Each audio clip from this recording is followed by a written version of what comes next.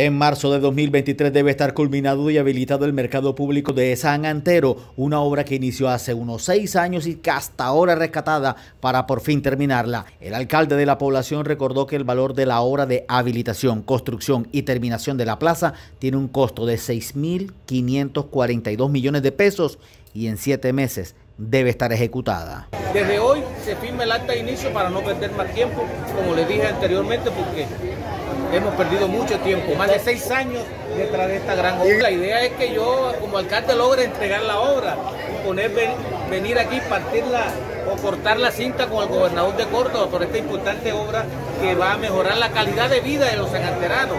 ¿Por qué? Porque vamos a, vender nuestros productos en unas condiciones higiénico-sanitarios. Ya el turista puede venir aquí y adquirir todos esos eh, este, de la canasta familiar, todo lo que se necesita. Pero en estas condiciones que estamos da pena, da vergüenza que venga un turista a comprar el pescado que está en el suelo. Finalmente el alcalde pidió a los contratistas emplear a profesionales y mano de obra no calificada de la misma población.